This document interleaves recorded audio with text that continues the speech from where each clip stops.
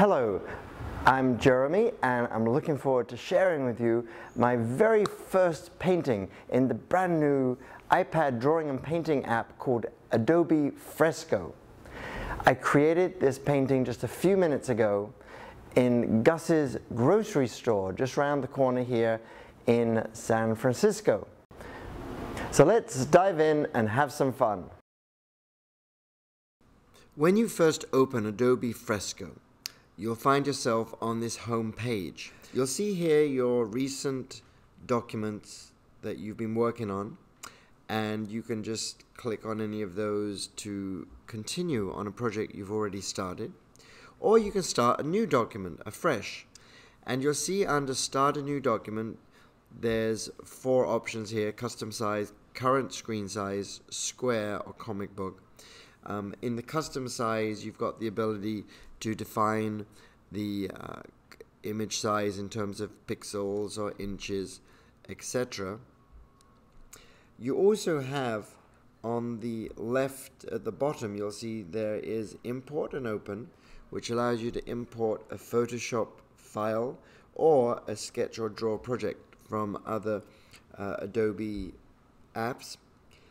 Or you can press create new there and under the create new you've got several options. You've got the same some of the same options we just covered um, the custom size current screen size. You can also save any custom sizes and you'll be able to pick them very easily.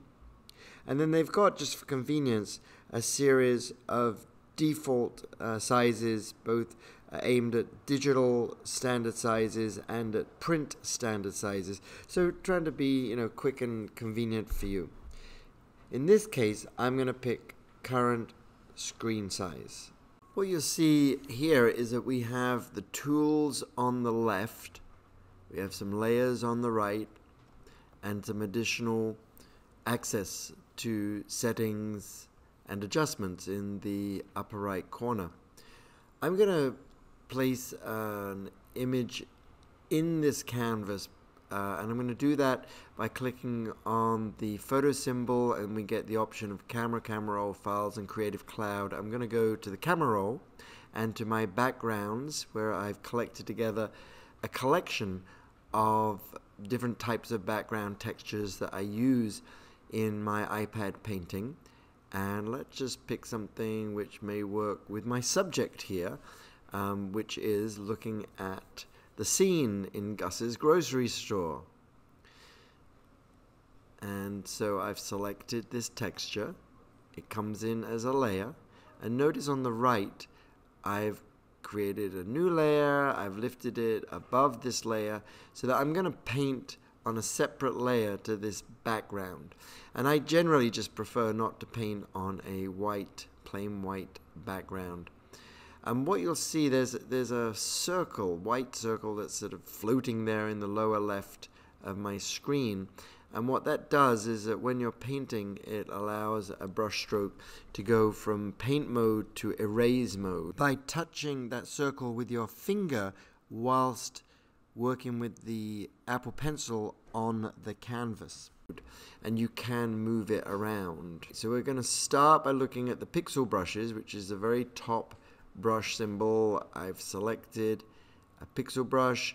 I'm going to change color here by clicking on that little color swatch and then adjusting the color wheel and the value saturation square there in the middle and adjust brush size by clicking and dragging on that swatch with the number in it. I'm going to have a look at my brush settings which I access through that little symbol at the bottom of the tools on the left and I'm basically just going to do a quick, very, very rough, completely abstract uh, brushwork here to carve out my basic composition.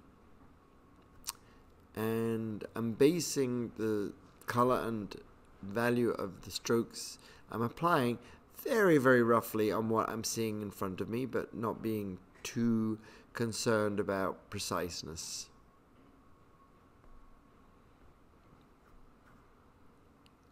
And you'll notice that I adjust color and the value and saturation Uh, so I adjust the hue, I should say, and the value and saturation fairly regularly. I'm going back and forth, back and forth to that color swatch there and using the color wheel. And that's my general preference for controlling color. I mean, with all of these painting apps, you always have the option of color palettes or sets of colors, and you can click on those, and also can be very, very convenient. It's just a personal preference. I generally uh, just love to use the color wheel and then adjust um, the value and saturation of that picked hue that I picked on the color wheel.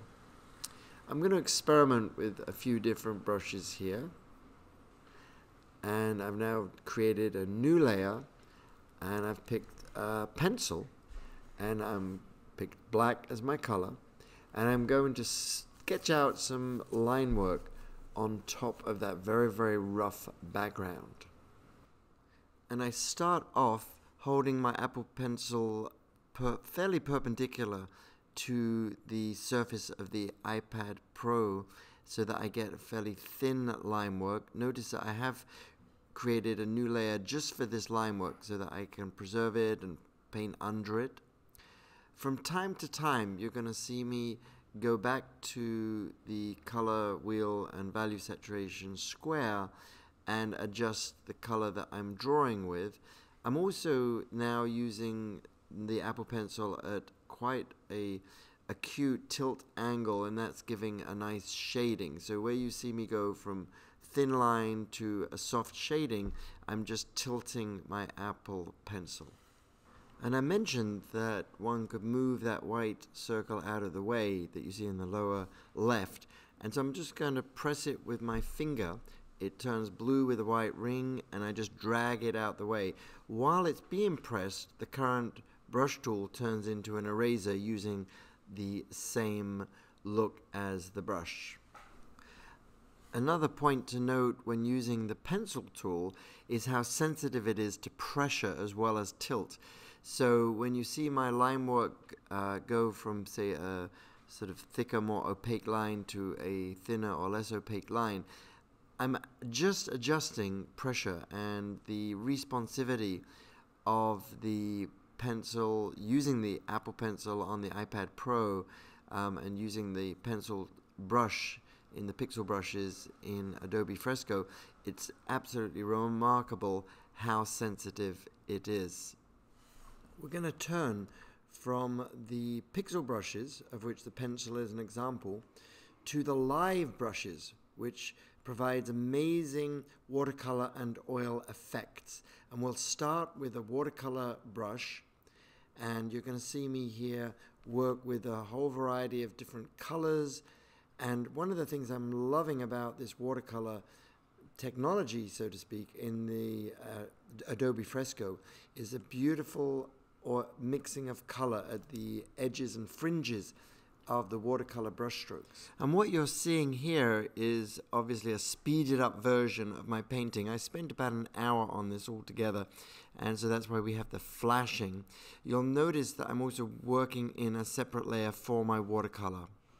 To finish this off, I'm going to turn from watercolor to oils and also live brushes with wonderful interaction and mixing of color and a little sense of impasto, i.e., a little sense of the build-up of thick paint, which I'm also really enjoying. And you'll also notice that I have generated a new layer at the top of my layer stack there. Um, and I tend to just work with layers uh, in this sort of composition, so I have a lot of versatility. I'm continually adjusting my brush size to suit the type of feature that I'm trying to create as I paint. So whether I'm doing a big swash for a background or details of fruits there. And you will have also noticed how frequently I'm changing hue, value, and saturation of my color. And that's actually a very important component of how I'm working on my digital canvas, continually making sometimes subtle, sometimes more dramatic changes to my color. So finally, uh, I do a signature, which you'll notice I've created a layer just for that in case I want to move it around, and I'm actually using an oil brush to make that signature. Once we've finished a drawing in Adobe Fresco, we're going to want to save it and potentially export it. The app automatically saves whatever you create into the internal library of the app. And so, in that sense, you've already got uh, the safeguard of an automatic saving. But what I like to do is also export the file and also the replay video. So let's look at how to do that. We're going to click on the export icon in the top right corner and you'll notice that has two choices. The first publish and export, the second quick export. And so for maximum versatility, I recommend the first, that is the publish and export. And we'll start off picking export as and select the format to be JPEG and click on the save image. That puts the JPEG onto our camera roll. And if that is all you want to do, you could simply program the quick export to save the current image as a JPEG. If you want to preserve layers in a saved image, then you'll want to select PSD for a Photoshop file format. You'll notice that the PSD has an asterisk by it, which is indicating that it's one of the features which only gets unlocked in Adobe Fresco when you subscribe. Adobe Fresco is part of the Creative Cloud classified under illustration. They have a subscription system where you pay $9.99 every month. They're giving the first six months for free, and then that unlocks a variety of features, of brushes, of cloud storage, allows higher resolution, etc. You can always cancel anytime. So, at the very minimum, you could try out the six months for free and just uh, make a note to cancel at the end of that if you uh, didn't feel it's worth the subscription. An interesting aspect of exporting as a PSD file is that you can export directly into Procreate on your iPad. And it's very, very simple. You just choose the PSD as the format for export and you choose the copy to Procreate option there. You see it on the screen. And that immediately puts the PSD file into the gallery of Procreate. And when you open that in Procreate, you will see that you have all the layers preserved. Let's go back to the export window of Adobe Fresco and choose Time-Lapse Export. And you'll see we're now able to replay the entire creative process.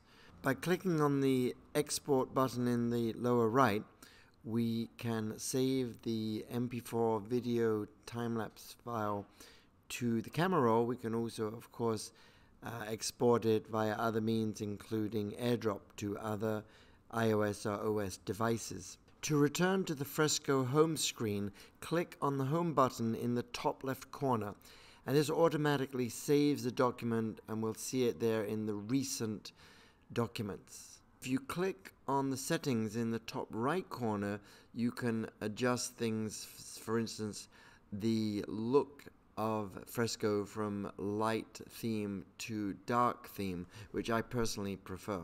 I hope you've found this little insight into my creative process uh, useful. There's a lot more in depth information available on the Adobe website, including this page uh, with some very good tutorials. Happy painting in Adobe Fresco. Cheerio!